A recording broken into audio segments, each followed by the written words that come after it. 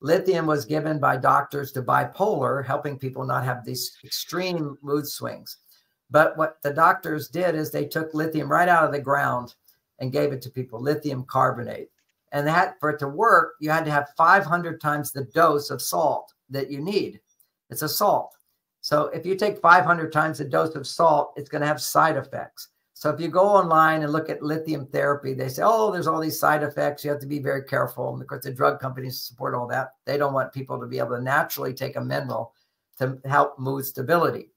So Dr. Nieper, a German doctor who had great fame in using minerals to heal conditions, he used lithium to in, in a form that you didn't have to use a high dose. He bonded it with a substance in mother's milk.